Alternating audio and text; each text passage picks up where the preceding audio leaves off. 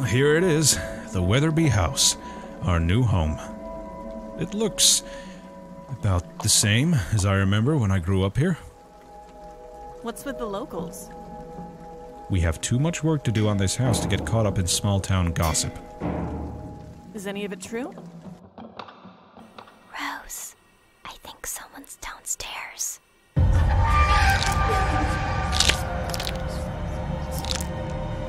You shouldn't be here. What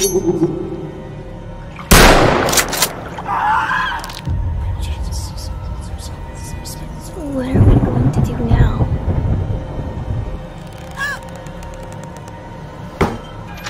What's this?